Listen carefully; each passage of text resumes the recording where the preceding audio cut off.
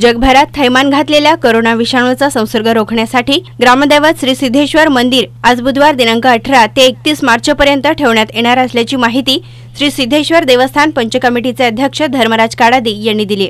तर ग्रामदैवत सिद्धेश्वर मंदिरात दर्शनासाठी दररोज मोठ्या संख्येनं भाविक येत असतात. त्यामुळे गर्दी होते. या पार्श्वभूमीवर जिल्हाधिकारी मिलिंद शंभरकर यांनी केलेल्या आवाहनानुसार मंगळवारी देवस्थानच्या कार्यालयात विश्वस्थानची बैठक पार पडली. तर या बैठकीत हा निर्णय घेण्यात आलाय. देवस्थानच्या इतिहासात प्रथमच मंदिर भाविकांसाठी काही दिवस बंद ठेवण्यात येत आहे. या प्रसंगी बोलताना काळादी म्हणाले कोरोनाच्या साथीनं घातलेल्या थैमानाला भारत आणि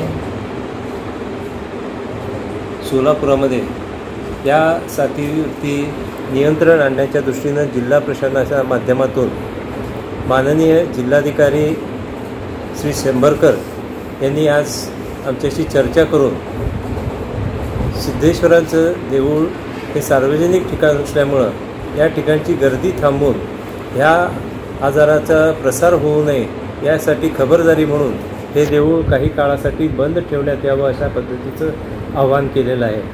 आणि त्या आव्हानाला अनुसरून आज संध्याकाळी सात वाजता सिद्धेश्वर देवस्थानमध्ये सर्व विश्वस्तांची बैठक झाली आणि त्यानुसार जिल्हाधिकाऱ्यांनी केलेल्या आव्हानानुसार सम सदर मंदिर उद्या अठरा तारखेपासून दर्शनासाठी या ठिकाणी चाललेल्या अन्नछत्रासाठी आणि यात्रिक निवासाच्या राहण्यासाठी हे मंदिर बंद ठेवण्यात येत आहे. पुढील सूचना होतोपर्यंत हे मंदिर बंद राहील. जेव्हा पुढील सूचना होईल तेव्हापासून परत मंदिर चालू राहील.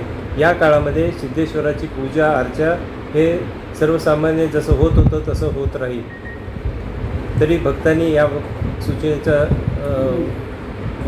या आव्हानाला प्रतिसाद देऊन या काळामध्ये मंदिरामध्ये दर्शनासाठी अन्नछत्रासाठी किंवा राहण्यासाठी येऊ नये असं आव्हान मी सिद्धेश्वर देवस्थान वतीनं मी करतो.